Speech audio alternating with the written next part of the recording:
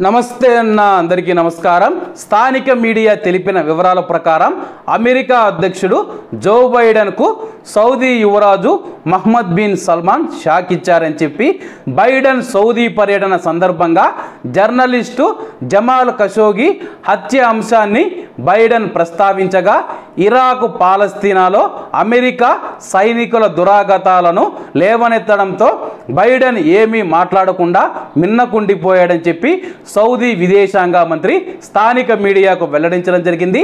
అలాగే సౌదీకి మోడీ వచ్చినప్పుడు సౌదీ యువరాజు స్వాగతం పలకడం జరిగింది. అలాగే బైడెన్ వచ్చినప్పుడు సౌదీ యువరాజు గారు స్వాగతం పలికి ఇండియా సౌదీ మధ్య కొన్ని కీలకమైన ఒప్పందాలు అయితే కుదుర్చుకోవడం జరిగింది. అమెరికా అధ్యక్షుడు జో బైడెన్ సౌదీకి వచ్చినప్పుడు ఎటువంటి ఒప్పందాలు కానీ ఎటువంటి అగ్రిమెంట్లు కానీ ఏవీ జరగకుండా ఒట్టి చేతులతో బైడెన్ అమెరికాకు వెళ్ళాడని చెప్పి మీడియాలో అయితే వెల్లడించడం జరిగింది.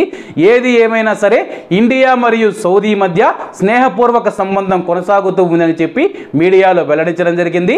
రాబోయే రోజుల్లో కూడా ఈ యొక్క బంధం మరింత బలపడాలని చెప్పి మనం అందరం కోరుకుందామన్నా. కాబట్టి ఎందరూ బాగుండాలి ఎందులో మనం ఉండాలి? ఎందరికీ నమస్తే అన్న. జై హింద్.